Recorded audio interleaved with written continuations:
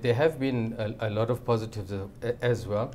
Uh, there, ha there has been a lot of things that have worked, both in the country and from an industry perspective.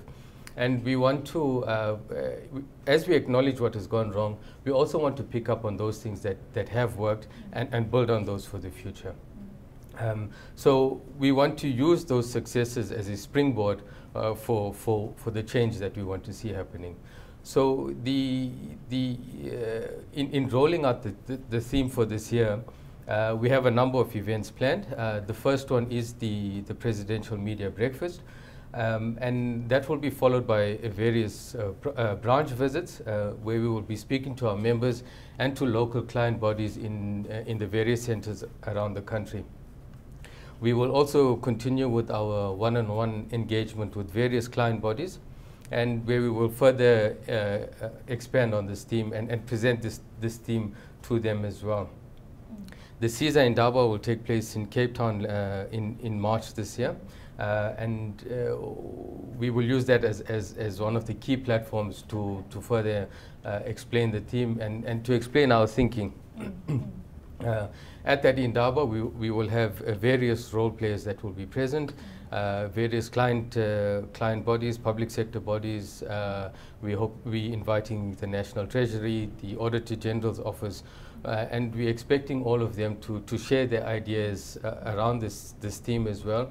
What are their perspectives of, of, uh, of the problems that we, are, that we are facing, the challenges that we are facing, and so that we can come, come together to find common ground on how we move forward and how we address those challenges. Apart from the, the, the billions of rands that has been siphoned off uh, um, through this process, uh, the, the more worrying thing for us is the effect that, is, that it has had on the capacity of state institutions to deliver yeah. uh, uh because the corruption has become so endemic. Mm. Um, and so, so many of our, our key state institutions uh, key state institutions are not functioning at the, at the levels that they should be.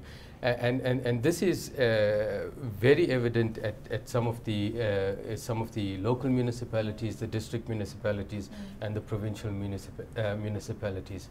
A and coupled with that, we have, uh, and this has been a, a, a long-term problem that the capacity within, uh, within government has been declining. So they, they have been losing a lot of technical capacity. We have this capacity that's sitting in the private sector that's not being fully utilized. As I mentioned earlier, that many of our firms uh, uh, uh, don't have enough project opportunities. They, they are downsizing, they're retrenching staff.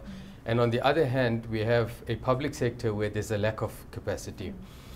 So, so one of the things that we are that that we that we are speaking about uh, and that we want to encourage government to look at is that we need to try to use the capacity that's sitting in the private sector as a short to medium term intervention to, to supplement the, the, the, the lack of capacity uh, that in, in the public sector.